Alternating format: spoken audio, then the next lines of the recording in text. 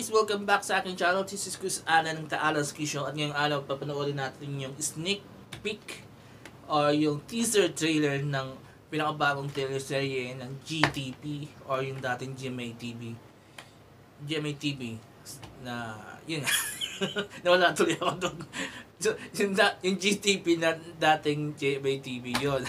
so, ang tinutukoy ko yung ah, bagong serye nila, yung Lolong na pinagbibidaan ni Ruru Madrid at ni Shaira Diaz. At um, wala pa akong hindi pa ako sure kung kailan ito papalabas pero definitely papalabas to sa sa GTV.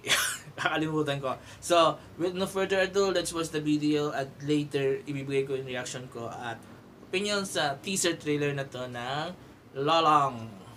Let's go!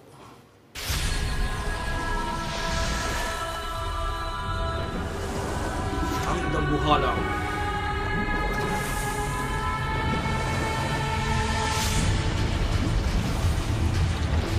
Lulol!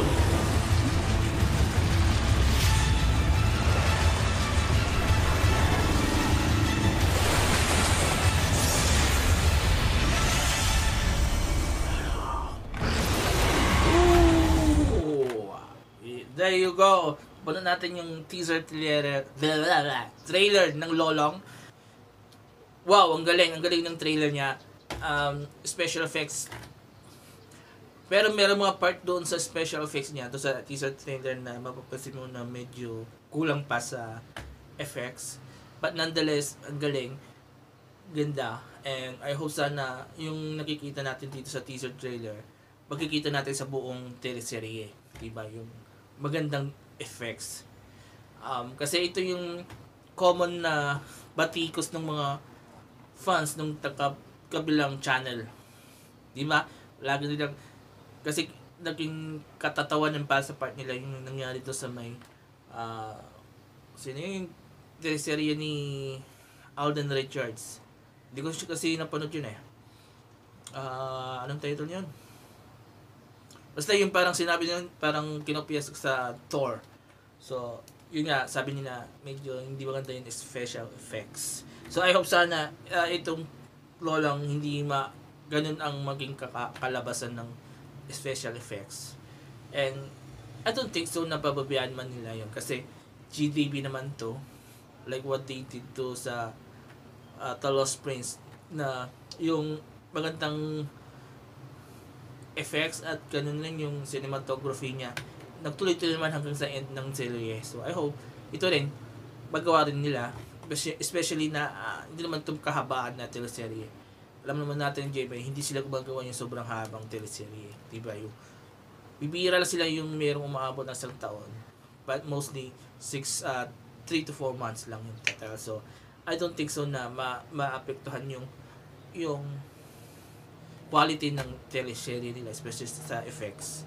And sana ang request ko sana dito sa mga producer sa director nitong Lolong, sana wag sila masyado mag-rely sa special effects. Especially kapag may mga close encounter sila doon sa kay Lolong, gumamit sila nung yung practical uh, effects. Di ba just like what they use sa Ingandaya, di ba yung si yung di ba? Hindi sila gumamit ng ng special effects doon, uh, practical, uh, automot, ano how you call, robot, robo, robotic something like yun. So, I hope sana ganun rin gawin nila na wag magdepend sa sa sa special effects para hindi siya magbuhang uh, chipipay, di ba? Kasi minsan kapag masyado tayo nag-release sa, chip, sa special effects, lumalabas na medyo hindi maganda. Kahit sa Hollywood, di ba? Kapag sobrang special effects ang gamit nila, or yung green screen, naapekto yung buong quality. So, alam natin dyan, maraming mga, uh, how you call it, Hollywood movies na na-criticize because of the masyadong nakatipente sa special effects sa green screen. So, I hope sana ganito rin yung sa GTV, sa Lolong, na wag masyadong mag-depend sa special effects sa green screen. At gumamit ng practical effects na mas maganda naman sa totoosin. Kasi nga, mas malapit sa natural yung dating kesa yung effects, di ba? Especially sa Pilipinas, hindi pa naman ganun kataas yung quality ng mga special effects natin. So, better go back to the practical effects, di ba? So, I'm looking forward for this uh, trailer, ah, trailer, this series serie and another new from from GTV. So, talagang GMA is, uh, talagang hinahanap ko tong GMA because they are really risking everything para makapagbigay ng mga magagandang teleserye na hindi isa lang yung tema na hindi pare-pareho.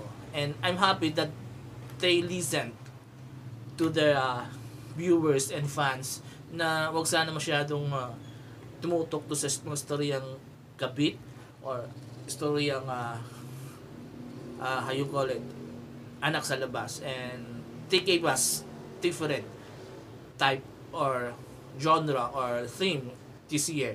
Diba? Meron tayo yung ito lolong, meron tayo yung uh, agimat ng agilya, meron tayo yung Lost Prince, meron tayo yung uh, first first yaya, diba? And upcoming naman yung yung uh, dalawang ikaw and and yung legal wives na diba?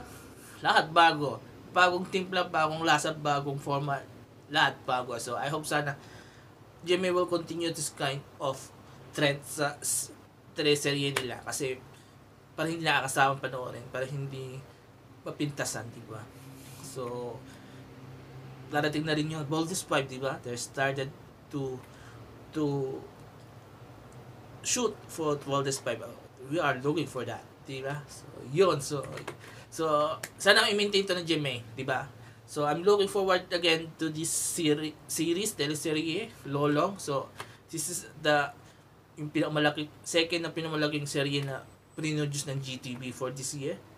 Uh, nauna yung pinaka-successful na teleserye, yung Talos Prince, and now this one, Lolo. I hope sana maging successful rin tong Lolo. Supportahan natin mga guys. Kung sinuportahan natin Talos Prince, supportahan natin tong Lolong I know na itong story ng Lolong hindi na siya kanong kabago. Marami tayong ganitong na rin napanood sa past. Mer, di ba yung TV5 at nagbawa na ng bangis na based dun sa storyline ni uh, Carlo J. Caparas. So, I hope sana kaya hindi, hindi ito masyadong bago but still uh, meron naman siya historical relevance because of yung yung involved na character dito si Lolong is part ng ating history when it comes to sa environment or nature. So, there you go. So, kung nagustuhan nyo yung yung uh, teaser trailer ng GMA, mag-comment kayo.